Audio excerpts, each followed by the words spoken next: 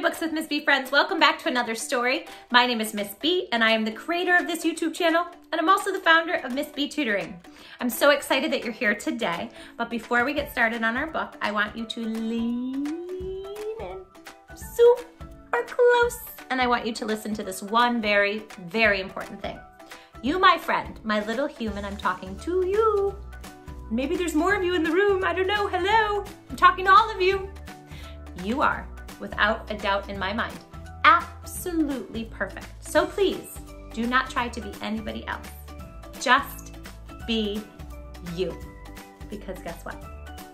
There's nobody else in the whole entire world like you. And that is kind of amazing. Don't you think? I think so. Just be you. Got it? Good. Okay, so today's story is a book request. So excited. In case you didn't know, you can visit me on my Instagram page at Books with Miss B, and there you can make comments and send me all of the amazing book requests that you have. I will try to find those books in my own library. If I don't have them, I will try and hunt them down and read them to you as fast as I can. Um, so today's story is for the fabulous, amazing, magical, wonderful, extra sparkly Luna. Hi, Luna. Luna is nine years old and Luna has informed me that she, in fact, is going to be an author someday of a children's book. That's amazing. Luna, you can do anything you put your mind to. All of you can. So I'm so glad you shared that with me. Let's go ahead and get started. The story that Luna has requested is The Watermelon Seed. And this is written by Greg Pizzoli, and he has been given the Theodore Seuss Geisel Award. Do you know what that magic sticker means? It means that, this is Dr. Seuss, by the way, awarded this book saying it's a magical, sparkly, extra fabulous story. Now, I want you to look at something really quick before I start reading. I have another book in my library. It's called Dragon Was Terrible. And this is written by the incredible author who we absolutely love in our house, Kelly DiPucchio. You've heard of her before. Um, she, she wrote this book, but notice it says pictures by Greg Pizzoli. The watermelon seed is written by Greg Pizzoli. What do you guys notice? Yes, the illustrations look very similar, don't they? When you look at the eyeballs on the dragon and you look at the eyeballs on the alligator, actually he's a crocodile. Don't they look the same? So not only did Greg write and illustrate the watermelon seed, but he helped Kelly DiPucchio out and make pictures to go with her delightful words. So check out that book if you haven't already heard that one. Let's get started. The Watermelon Seed. I love watermelon. It's my favorite. When I was pregnant with my kiddos, I would squeeze lime on it, and I still do sometimes um, on top of my watermelon and gobble it down. Love it. I love watermelon. Chomp, chomp, chomp. It's the best.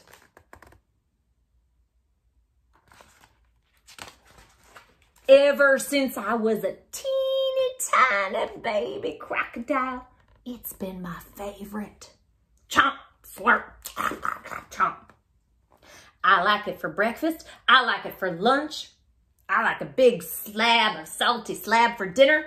And I love it for dessert. You know who puts salt on their watermelon? My mom. My mom is watching this video right now. I've always thought that was a little strange, but it's sort of normal. People like it. I love watermelon.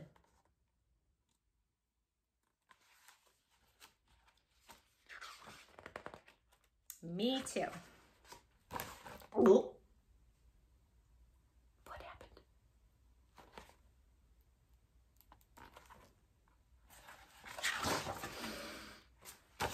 I just swallowed a seed.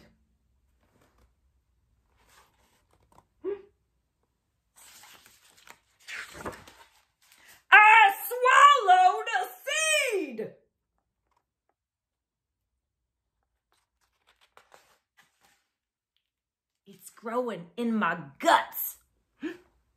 Soon vines will come out of my ears.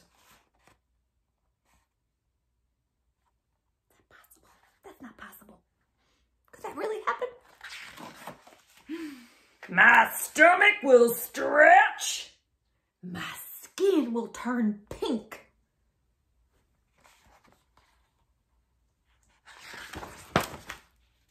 I don't want to be in a fruit salad.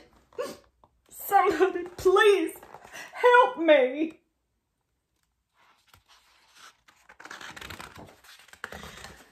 Grumble, grumble, grumble. His tummy's grumbling. Oh no, I can feel it growing inside me. It's happening right now. My stomach feels funny. It's all in his mind.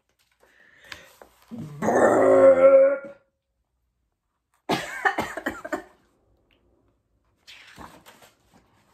oh, there's the seed. Did he burp up the, the watermelon seed? that was too close. No more melon for me.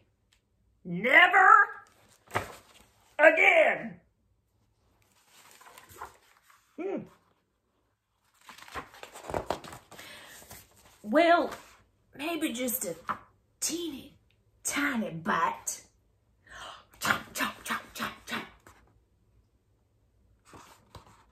How can you say no to watermelon?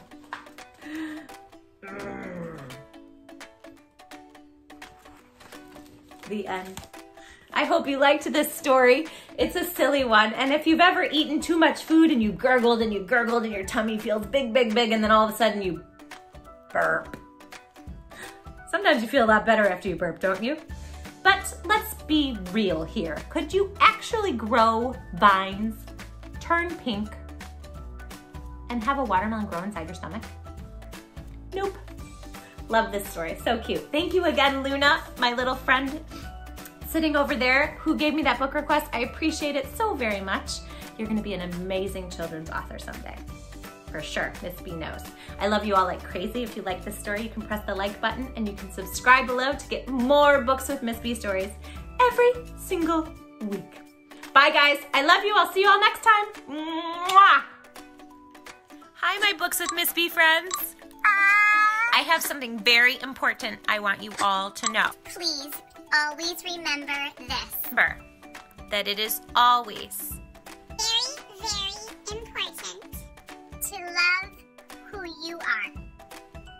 and don't try to be anybody else But who you are. Because, in case you didn't know, I'm going to tell you. are without a doubt in my mind